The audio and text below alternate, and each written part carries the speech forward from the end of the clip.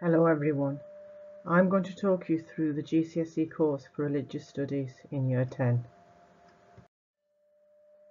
I'm going to start off with our expecta expectations, our main three core values, respect, ambition and determination, which are required in every single lesson.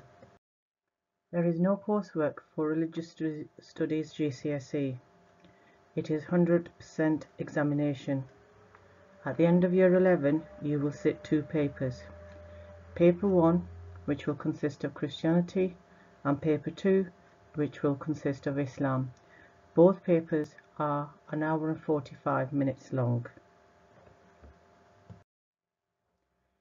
Throughout the course, you will be studying eight units. The religions you will be covering are Islam and Christianity. For Christianity, you will be covering Christian beliefs, marriage and family, living the Christian life, and life and death. For Islam, you will be covering Muslim beliefs, peace and conflict, living the Muslim life, and crime and punishment. Throughout the course, at the end of each unit, you will be assessed on each one of them to see how you are progressing. A typical lesson for GCSE Religious Studies will start with a knowledge retrieval, where we will be recapping previous knowledge from previous lessons.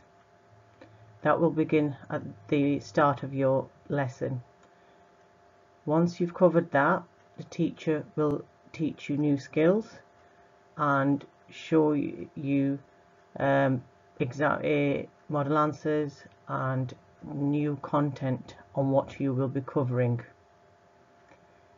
We will, as a class, do a task together, which then you will be required to do independently.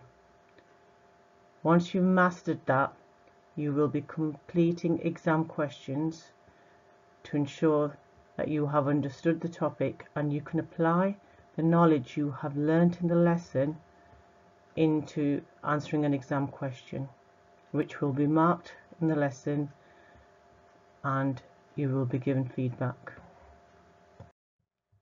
Skills required from a GCSE student studying religious studies is that you must be a good team player, you must have good communication skills, be confident in discussing your views and sharing them with the rest of the class.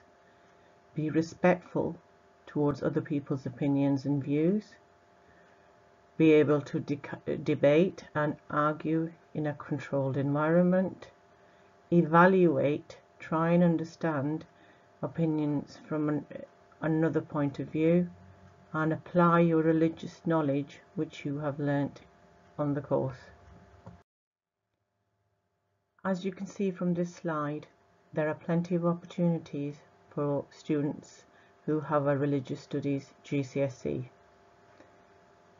No matter if you are studying wanting to study law or you want to go into medicine or health and social care, religious studies GCSE will be an important GCSE to help you get to your course that you desire.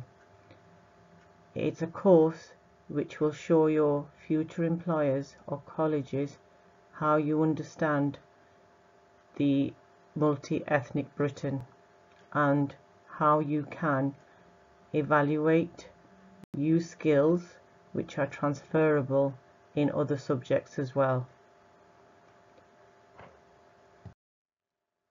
On this slide you can see the useful websites to expand your knowledge on the course content which I highly recommend for you to use as extra studies for religious studies.